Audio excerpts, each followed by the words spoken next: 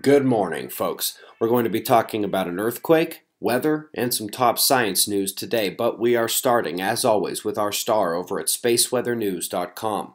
Taking a look at the last 24 hours on our star reveals no solar flaring, no bright flashes, no ejections either of the small plasma filaments.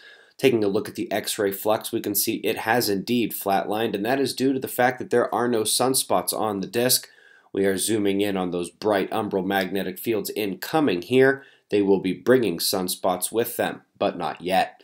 Taking a look at the solar wind, we do see a good deal of stability as we had a peak in solar wind speed about a day and a half ago, and density has continued to drop. That leaves geomagnetism very quiet. It does not appear we have any more coronal hole streams on the way imminently. Next one should be a northern system, and it's coming just behind the bright active region and coming on the left.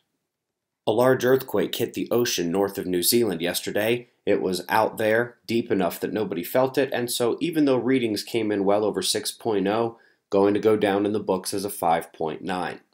Looking at the weather over the last day with long wave signatures, we're going to be focusing on how a relatively clear day was struck by an explosion of clouds and precipitation around sunset, I'm going to go ahead and add the lightning shots in there so we can see how gorgeous of a display followed such a calm and seemingly quiet afternoon. The top weather story of the last day came to Japan. Dozens are dead, hundreds injured, hundreds missing, and over 2 million people evacuating as floodwaters are creeping higher. Interesting story here about dust that is supposed to be very rare and one of the hallmarks of the Milky Way and how it was just discovered about as far away as we could ever hope to see it, not what they were expecting. Interesting article detailing and confirming the ENSO effect on monsoons in Asia.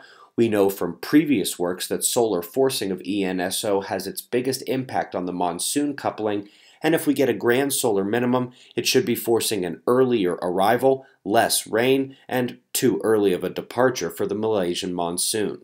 Lastly, folks, something that should hit many of your ears very well, it is statistically proven that exposure to the outdoors makes you healthier.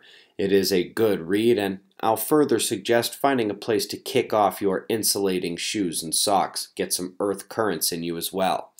Website members, if you head over to your deeper look section today, you've got a new one on a strange but likely explainable cloud anomaly. Of course, yesterday was Saturday, so your Fly on the Wall podcast is posted as well. Lots of good topics, including the Grand Cosmic Ray Maximum.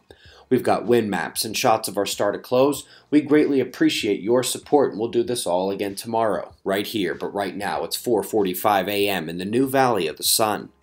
Eyes open, no fear. Be safe, everyone.